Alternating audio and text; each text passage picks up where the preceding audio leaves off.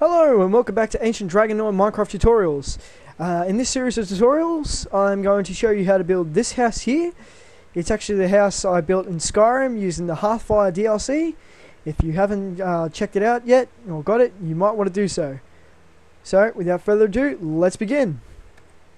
Okay, for this build you're going to need your stone brick stair, uh, stone bricks, uh, stone brick, uh, your acacia wood if you're using on the most uh, recent update, but I'm actually using a um, texture pack edit of the nether brick, so I can also get the stairs and slabs.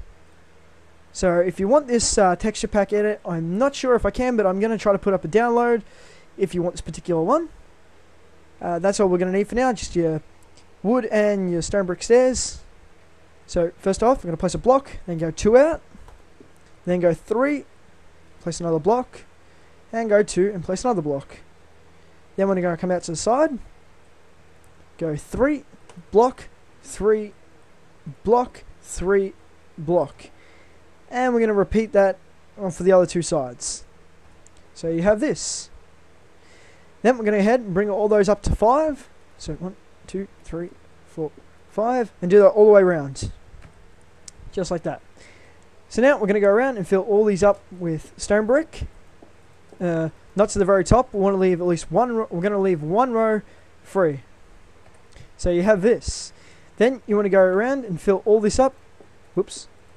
Uh, with your log, or in this case, I'm using nether brick. Okay. Now, if you're using this John Smith's texture pack, you really, if you're not using it, you really need to get it. But if you're using it, you want to get your oak wood and your birch wood. If you're not using it, use whichever combination of wood you think looks the best. Just try not to use the single wood, or if you like it like that, it's completely up to you.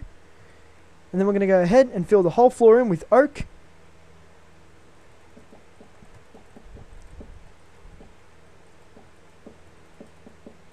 So like that. And then we're going to come from where we have the two, this pillar here, and we're going to start knocking out this strip of oak. Sorry about the lag. there. And every pillar we're going to knock out the block blocks. So we're left with um, a 6x6 here and 9x9 in the center. Just like that. And now in all these gaps you want to go ahead and place your birch wood. Just like that. Then you want to come down here. Uh, choose which side you're going to be a front. And for this case it's going to be this side. And we're going to knock out the center post or pillar. Whoops place it with our whichever wood or texture you used and also remove these three. These are going to be your doors. And for this I'm going to place birch here and place the nether brick stairs here.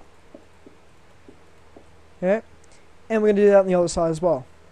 So I did that on both sides except on this side I left out the stairs because this is going to be connecting to our main hall. Now we're going to start on the roof so you want to come over here? Get your wood or whichever you're using again. And from this last post we're going to start bringing the roof up.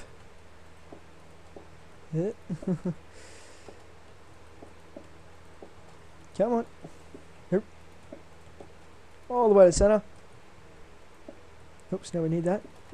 Also bring this one up. Get on the other side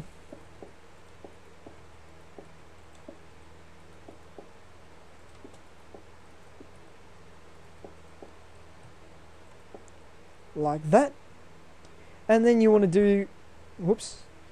First, I forgot to mention, we need to put um, a beam across here. So from this pillar and this pillar. Whoops. And then we're going to go ahead and put a roof support on this beam, this beam, and this beam. Just like that. Now, we're going to take up your spruce wood and start putting it across like this. We'll start putting it up here first. I'll only do one side of the roof and then I'll skip the video and do the other side. So just bring this right across.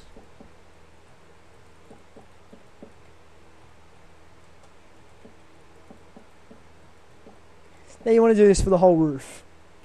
So just like that. Then we're going to come to the front of your house And we're going to create an overhang.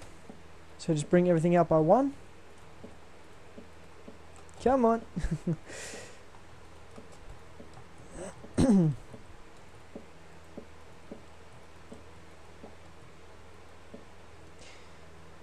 And we're going to go ahead and fill this in with uh, stone bricks.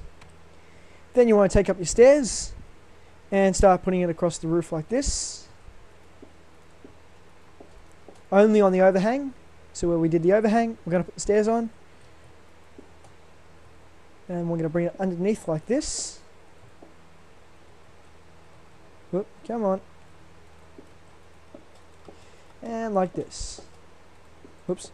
And for this part here, we're just going to place a block here and a block there. And we're going to do it on the other side. Just like that.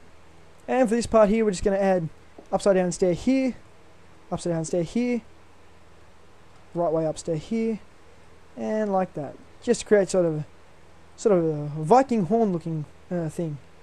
I'm going to come down to one side and place stair, upside down stairs like this. And then we're going to knock out this block, this block, this block, and that's it. This one, this one, this one, and this one. Then we'll get our stone bricks, uh, sorry, nether brick, come up two, then up one, up two, whoops, that's right. But make sure you do it on the upside down stairs, not like what I've just done. on the upside down stairs, guys. So, like that. And you want to get your spruce and bring this out. Make sure it creates an overhang.